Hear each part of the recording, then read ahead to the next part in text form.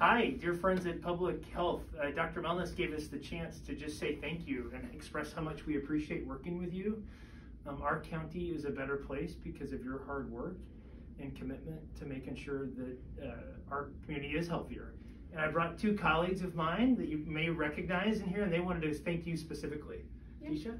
Yeah, thanks, Sean. Um, hi, Public Health Partners. Thank you for the immense number of hours and time that you have put into keeping our community and our patients safe.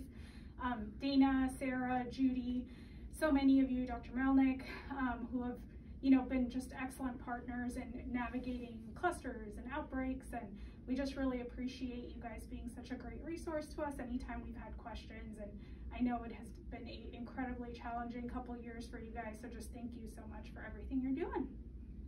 Yes, hi all, and I think you guys are truly the unsung heroes of this pandemic, and uh, again, so much hard work um, that goes unseen. Uh, but please know that our community is in a much better place because of what you do, and uh, sincere, heartfelt uh, thank you from all of us. So, on behalf of PeaceHealth, the three of us want to say thank you very much. Thank you. Thank you.